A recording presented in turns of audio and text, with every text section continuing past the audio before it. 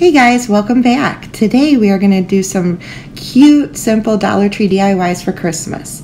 I'm using white, red, and moss paint. I'm using this um, Halloween sign that I got from Dollar Tree and some twine and some beads. And you're going to first start by taking the hanger off of your sign. Um, we're not going to, or at least I'm not going to be hanging this sign. I covered the back of the sign with the moss green paint. I ended up doing two coats. It gave pretty good coverage. And just make sure that you not only cover the whole um, back of the sign, but the sides too, because you can see them. I love the green moss. I thought this screamed Christmas. And this is one of my go-to paints. It's one of my favorite colors to use. So give the back of that sign a real good coat and then you can start on your beads. I didn't want my beads to be perfect. I wanted them to look like old, like they've been around a little bit. So I just put five of them on this little plastic plate and just started dabbing them with the red um, Waverly chalk paint. I used brown beads because I liked that you could see the brown through it. It gave it that more country I think, farmhouse look. And then I did the same thing on the other five beads. I coated them with a nice coat of white paint. I only did one coat. One coat was perfect because you could see the brown coming through. Once the sign had dried, I just used a ruler and a Sharpie and I drew two lines coinciding with the grooves of the sign um, just to give it more of that like pallet wood um, look. I didn't do anything else to it. I printed this off of my um, Cameo. It says, Love you to the North Pole and back. I actually seen the sign at Big Lots and I wanted to recreate it. The sign at Big Lots was to hang pictures from. Since this is a Dollar Tree sign, it wasn't as big and I opted to not put the twine around the edges to hang the pictures. Now you can use a print um, Google image printout if you wanted. If you have a Cricut or a Cameo, this works perfect. Or you could even freehand the words on this or use a stencil. There's so many options. I just thought I would take advantage of using my silhouette to put this on here. And I absolutely adore the saying. So then you're going to start putting your beads on your twine. I keep my twine on the roll while I do this because when you're adding the beads, sometimes it will fray at the edges, and that way I can cut the um, ends of it as I go to give me a fresh, you know, new start with the twine, and then keep adding beads. And if it frays again, I can cut. That's why I keep it on the roll while I'm doing this. Um, that way I can have the exact amount of length of the twine that I need. So I did not fill in the holes on the sign for a reason. I am going to use that twine that I put the beads on and I am going to use the original holes to feed that twine through.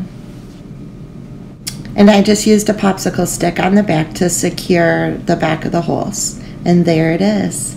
So cute. I can't wait to display this for Christmas. I absolutely love the sign. I love the prayer beads hanging from it. I love the saying on it. And I love that moss color.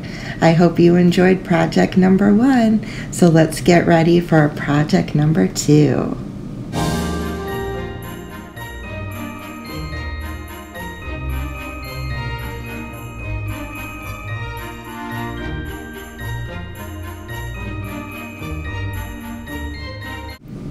For project number two, we are going to create this Christmas tree.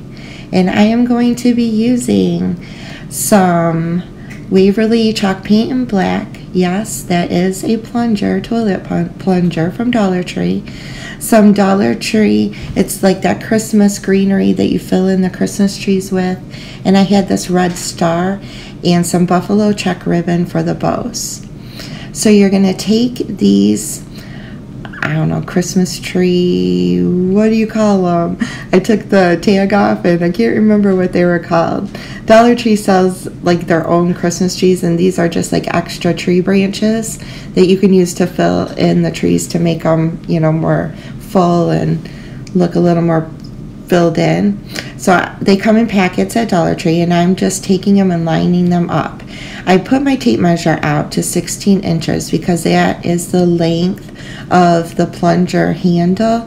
It actually is probably about 17 inches because my measurement skills are poor. so I did have to cut two more. But I'm lining these up and I'm just eyeballing it. I'm doing rows of two. So the first two are the same length. Then I'm taking the next two and I'm just cutting a little bit off of the ends. Those two will be the same length. And I'm going to continue going all the way up, trimming them smaller than the ones before to form a Christmas tree. I used wire cutters it was perfect. You could even use a little bit of, um, if you needed just to cut a little bit more greenery off, you can even use your scissors. So like I said, groups of two, just keep going up the measuring tape and making the next group smaller than the ones before. And like I said, my measurement was a little bit off. It's probably not, I measured 16. I bet that pole is about 16 and a half because I had to do two more. For some reason, I lost the footage. I painted the plunger black. I painted the base black and I painted the handle black. It actually went on so good. Only took one coat and I just covered it all in, in the um, folk art black chalk paint. So now we're going to start attaching them to the plunger handle. At first I tried this with the plunger standing up and because the tree branches are pretty thin, I was burning my fingers. So I decided to attempt this laying the plunger down. And I am just eyeballing the gap in between. I didn't like measure it out on the plunger handle. I'm just giving it probably about, what would you say, inch and a half gap. And I started at the bottom and then I went to the top and hot glued it in a straight line going all the way up. I didn't, I wanted this to be a flat tree. I did not want it to be round. That is why I'm doing it this way. Um, I just think it's unique and cute and won't look like any of your other tree decor in your house. So it's very original and I'm loving the way it's turning out right now.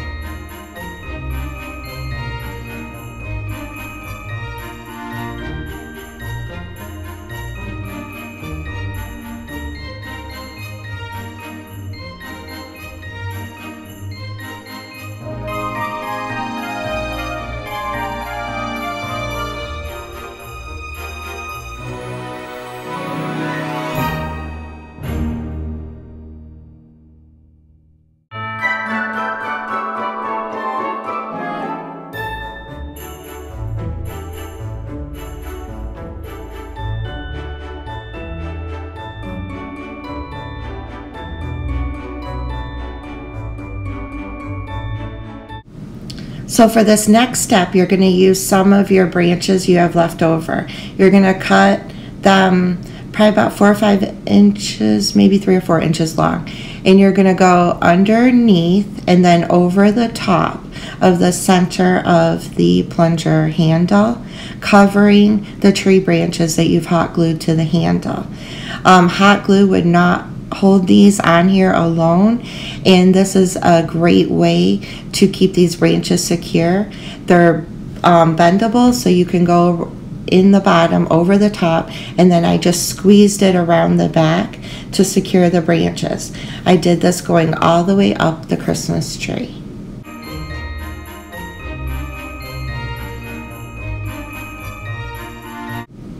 Now it's time to make your bows. I'm using this buffalo check ribbon that I got from Hobby Lobby and I'm just tying them into small little bows and hot gluing them to the ends of the branches. I'm doing every other branch because I didn't want it to be overkill. If I just think it would be too much if you did every branch.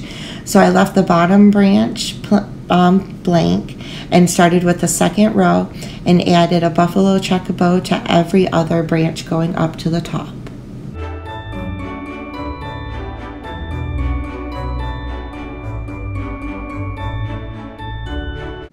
This is a little red bell or star ornament that I had gotten from Big Lots last year. I think they came in a pack of like five or six. And I'm using that as the star on top of the Christmas tree. I am coming back in with the buffalo check ribbon and I'm just going to hot glue it around the base of the plunger.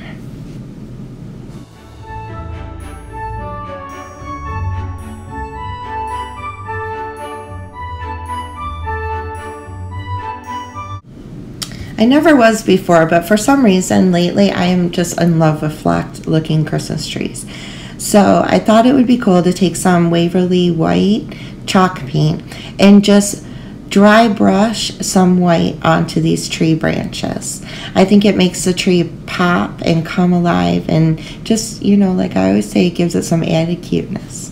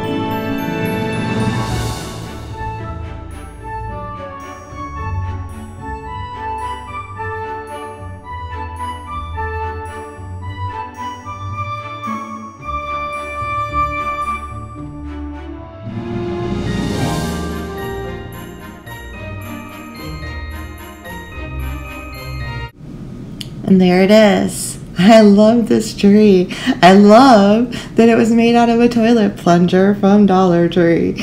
And it's unique and it's fun and I don't know, maybe I'm partial, but I think it's super cute. I hope you enjoyed it too. If you did, please consider subscribing to my channel. Give me a thumbs up so I know I'm doing it right. And I have many more DIY Christmas tutorials in store for y'all. So I hope y'all had a wonderful and blessed day. I'll see you again soon, y'all. Bye.